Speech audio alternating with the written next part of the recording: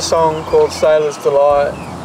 It's a song about love, uh, falling in love, and being in that twilight zone when you've met someone for the first time and you've had that spark and you've, you've chosen to, to, follow it.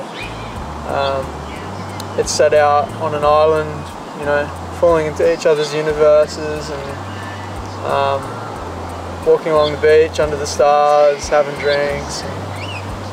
I guess the chorus is sort of asking more so yourself whether you should take this person's hand and, um, and make it last. Um, but yeah, it's a sweet one. It's called Sailor's Delight.